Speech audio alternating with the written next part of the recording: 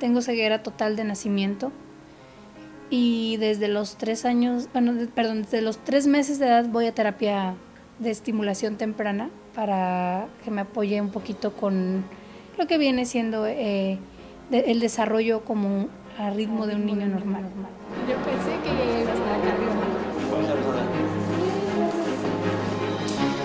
Ella es Cassandra Cruz Monroy, una joven de 24 años a la que su discapacidad no le ha impedido desarrollarse en el área de redes sociales del gobierno del estado, donde apoyándose de los parlantes del celular y la computadora, trabaja como analista gracias a la política incluyente del gobierno ciudadano. La verdad es que esa ha sido una muy bonita experiencia, muy grata, eh, tanto por el trabajo que estoy desempeñando ahí como por la inclusión de mis compañeros, del departamento en general. Originaria del Estado de México, esta joven madre, esposa y ama de casa, relata que a pesar de vivir una bonita infancia, también sufrió discriminación. En todos lados pasa que las personas se toman muchas veces atribuciones que no, que no les corresponden y piensan que por tú no ver no puedes decidir por ti mismo. En la comodidad de su casa, aficionada al canto y los deportes, recuerda que empezó a cantar a los siete años,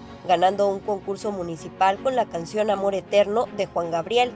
Años más tarde, y siguiendo su sueño de viajar en avión, comenzó a participar en atletismo paralímpico, primero a nivel nacional donde obtuvo diversas medallas de oro, hasta que en el 2009 tuvo su primera competencia internacional en Colorado Springs, en Estados Unidos. Obtuve tres medallas de oro, igual en 400, 800 y 1500 metros planos. Fuimos después, de ahí pasamos a un selectivo para Juegos de Bogotá, Colombia. Posteriormente participó en los Juegos de Nueva Zelanda, en los Parapanamericanos de Guadalajara 2011 y en los Paralímpicos de Londres 2012, mejorando su marca a 26 segundos con 76 centésimas en 200 metros planos. Tras esta última competencia, la medallista olímpica decidió retirarse y continuar con su lado musical. Perdí la cuenta de las promesas que me hizo Estudió canto dos años en la escuela de Félix Greco y llegó a cantar en eventos y hasta en la calle. Actualmente sigue componiendo canciones, aunque confiesa que disfruta más su vida en familia. Pese a ser adulta, cuenta que la discriminación hacia ella no ha terminado y considera que nos falta mucho como sociedad en el tema de inclusión. Hay personas que, dicen, yo no me siento en el camión contigo porque tú no ves, ¿no? Incluso nos toca que cuando pedimos a veces un taxi, Oye, ¿me ayudas a, tomar un taxi?